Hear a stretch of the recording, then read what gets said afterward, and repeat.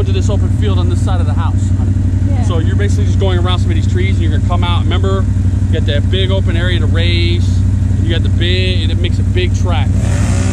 yeah. You just don't know where it is. You didn't find it. No, we ended go- up go. over there, but I don't know. If, That's fine. You guys go ride wherever you want to go. If you find it, you find it. Go, have fun. Yeah. See you guys in a little bit. Have fun. Let her let her go in front too sometimes until you get it. Oh yeah, I've been up front. All right, good, good.